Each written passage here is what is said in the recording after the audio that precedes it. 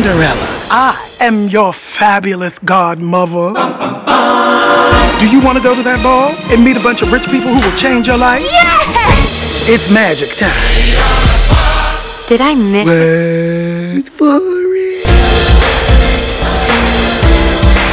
I have dreams that I have to chase. The glass? Any way you can make them more comfortable. Even magic has its limits.